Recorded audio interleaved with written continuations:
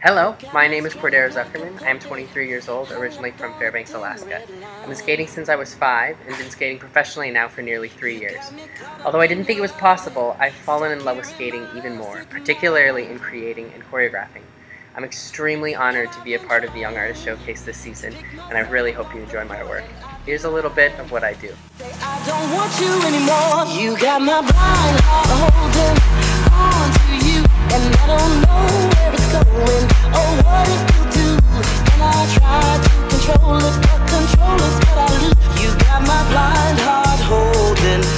On to you. Just let it be.